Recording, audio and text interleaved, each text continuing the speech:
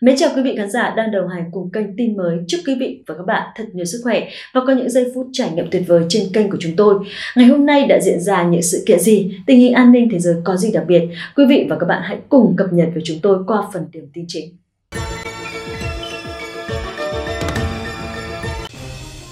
Xin chào các bạn khán giả của tin mới. Các bạn thân mến, từ trước tới nay, thế giới vẫn nhìn vào Việt Nam kiểu chả sản xuất được cái gì ra hồn, tới con ốc vít cũng phải nhập khẩu.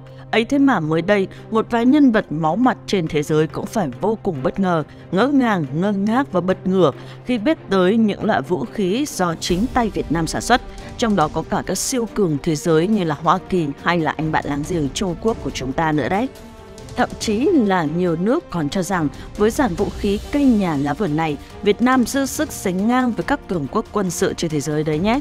Vậy thì đó là những loại vũ khí nào và liệu rằng sức mạnh của dàn vũ khí Made in Việt Nam này có thực sự là đối thủ đáng gầm của các siêu vũ khí trên thế giới hay không? Nếu các bạn cũng đang tò mò thì hãy cùng với Thanh mới đi khám phá ngay 7 vũ khí khủng do Việt Nam tự sản xuất. Mở đầu danh sách những vũ khí bá đạo do Việt Nam sản xuất chính là tên lửa đẩy TB02. Đây là loại vũ khí mang tầm chiến lược, có vai trò quan trọng trong các trận địa phòng không, bảo vệ vùng trời Tổ quốc. Nếu như trong quá khứ tên lửa SAM của phòng không Việt Nam đã quật đổ pháo đài B-52 của Mỹ, thì nay với công nghệ cải tiến tên lửa TV-02 được cho là đối thủ đáng gờm đối với các siêu tên lửa trên toàn thế giới.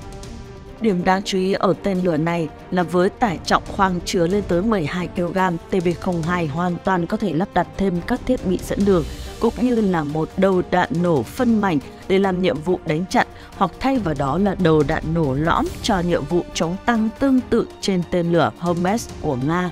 Ngoài ra, công nghệ tên lửa phóng vệ tinh là loại lưỡng dụng cho nên là TV-02 hoàn toàn có khả năng biến thành tên lửa đạn đạo chiến lược hay tên lửa phòng không, đảm bảo tiêu diệt mọi kẻ thù có ý định xâm lược vùng trời của nước ta.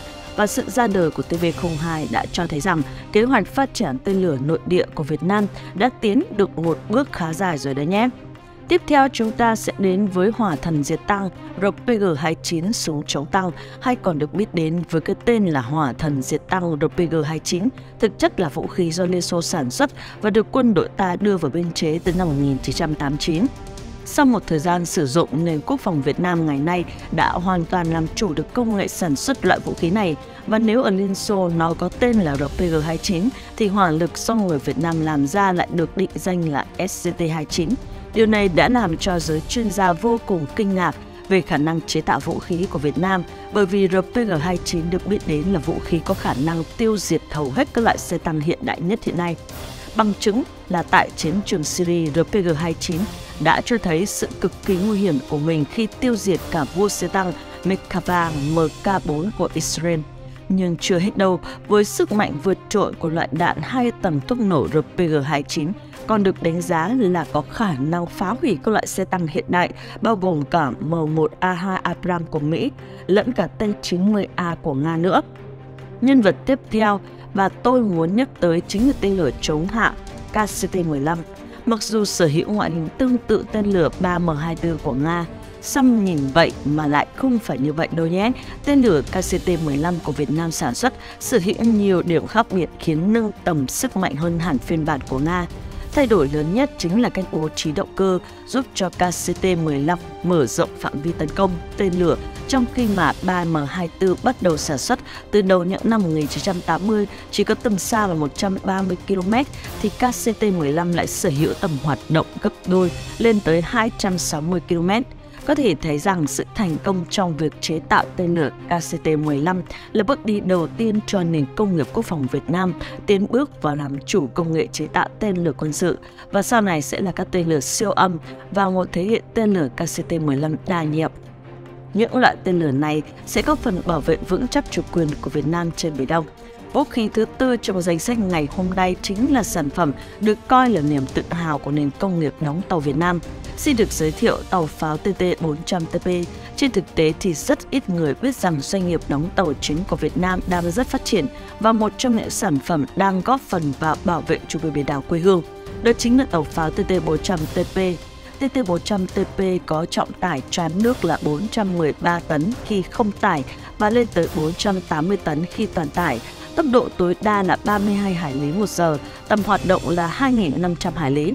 Khi tàu chạy ở tốc độ kinh tế là 14 hải lý một giờ, tàu có thể hoạt động liên tục trên biển 30 ngày đêm, có khả năng tác chiến trong điều kiện sóng cấp 5 và chạy trong điều kiện gió cấp 9, 10 và sóng cấp 8. Về vũ trang, tàu được trang bị súng máy phòng không 14,5 ly, pháo hạng tự động 76 ly AK-176 và một pháo tự động 6 nòng 30 ly AK-630, có radar dẫn bắn để tiêu diệt mục tiêu trên biển và trên không. Ngoài ra, TT-400TP còn có hệ thống tên lửa phòng không Manpad SIN-14 Grossi, hai ống phóng. Bên cạnh đó thì chiếc tàu chiến này còn được trang bị một loạt hệ thống radar giúp định vị và thông tin liên lạc với đất liền. Tiếp theo cũng là một loại pháo nhưng ở một tầm cao hơn với những tính năng vượt trội hơn. Đó chính là pháo cao tốc AK-630M Kể từ khi ra đời vào năm 1960, do Liên Xô chế tạo thì AK-630M luôn được xem là lá chắn bất khả xâm phạm trên biển trước mọi đòn tấn công của kẻ thù. Tới nay thì loại pháo cao tốc này đã trở thành thứ vũ khí không thể thiếu trên hầu hết mọi lớp tàu chiến của Nga và nhiều quốc gia khác, đặc biệt là Việt Nam. Đây là dòng pháo đa nòng khi sở hữu tới 6 nòng pháo cỡ 30 ly, giúp cho pháo có tốc độ bắn lên đến 5.000 pháo một phút với tầm bắn tối đa lên tới 5.000 mét. Do đó mà khẩu AK-630M được coi là loại pháo có tốc độ bắn nhanh nhất thế giới hiện nay.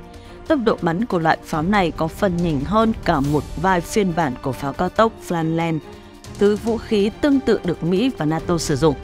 Hiện tại thì AK-630M đang được trang bị trên các tàu chiến hiện đại bậc nhất của Hải quân Việt Nam như là tàu hộ vệ tên lửa Jupat, tàu tên lửa Moniya, tàu tên lửa Taratun. Các tàu chiến này đều được trang bị ít nhất hai tổ hợp AK-630M cung cấp lá chắn bảo vệ toàn diện.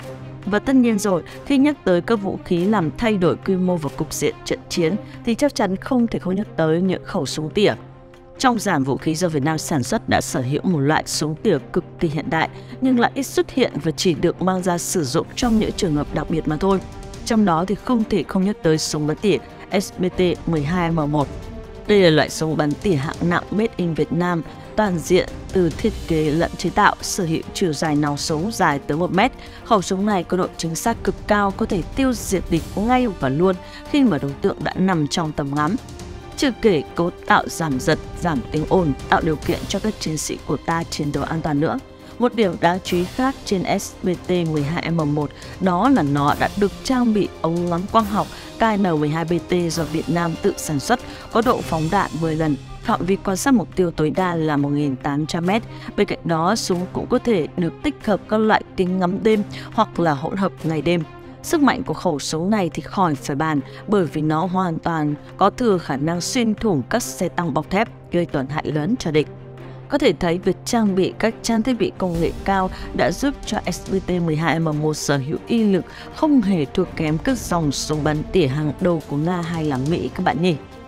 Và nhân vật cuối cùng mà tôi muốn nhắc tới trong dàn vũ khí khủng Made in Việt Nam ngày hôm nay chính là súng trường tấn công STLA-1 trong biên chế của Việt Nam có một vài loại súng trường tấn công cực kỳ hiện đại nhưng lại ít xuất hiện, thường được trang bị rất hạn chế và chỉ được mang ra sử dụng trong những trường hợp đặc biệt. Trong đó thì không thể không nhắc tới súng trường tấn công STLA-1. Đây là một sản phẩm cải biên do Việt Nam tự nâng cấp dựa trên phiên bản AKM nổi danh một thời, thậm chí là truyền thông quốc tế còn một thời hiểu lầm, khẩu súng trường tấn công này là khẩu AK-103 do nó có ngoại hình khá giống với khẩu súng hiện đại do Nga sản xuất. Về cơ bản thì súng có thiết kế với một đen tuyền, bao phủ toàn bộ, kèm theo đó là chóp ù giật giống hệt với phiên bản đầu nòng ù giật như trên khẩu AK-103. Nhờ trục bù giật mới này giúp cho súng có độ ổn định tốt hơn. Khi bắn liên thanh, độ trục đạn cũng được cải tiến nữa. Thân súng được áp dụng công nghệ vật liệu polymer cao phân tử việc loại bỏ vật liệu gỗ ép để thay thế bằng vật liệu polymer tổng hợp các phần tử vào sản xuất thân súng đã giúp cho trọng lượng của súng vừa nhẹ trong khi vẫn đảm bảo được độ bền cơ học. Điều đặc biệt là việc thành công khi gắn súng phóng lựu kẹp nòng. M203 của Mỹ đã làm tăng sức mạnh hỏa lực cho súng, biến khẩu súng này trở nên hiện đại, không thua kém gì phiên bản súng trường tấn công AK-103 nguyên bản do Nga sản xuất. Đấy các bạn thấy không, vũ khí có khủng có kho đến mấy thì Việt Nam mình vẫn hoàn toàn có khả năng sản xuất, thậm chí là chất lượng cũng không hề thua kém các cường quốc quân sự đâu nhé. Chỉ là bởi người Việt vốn được tính khiêm tốn và chúng ta không muốn khoe khoang mà thay vào đó là tập trung vào nghiên cứu và phát triển các loại vũ khí ngày càng hiện đại hơn, góp phần gìn giữ và bảo vệ chủ quyền đất nước. Còn video ngày hôm nay đến đây đã kết thúc rồi. Nếu như các bạn nhận được thông tin gì thú vị và ý nghĩa thì hãy dành cho tin mới sự ủng hộ bằng cách chia sẻ video này đến với mọi người. Các bạn cũng có thể nhấp vào bên trái hoặc bên phải màn hình để theo dõi những video thú vị khác nữa. Cảm ơn các bạn đã quan tâm theo dõi. Còn bây giờ xin chào và hẹn gặp lại.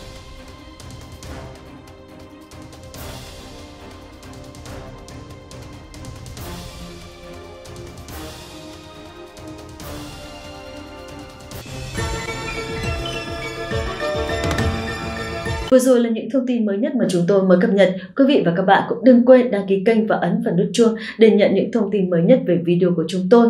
Cảm ơn quý vị đã quan tâm và theo dõi. Còn bây giờ, xin chào và hẹn gặp lại trong những video tiếp theo của chương trình.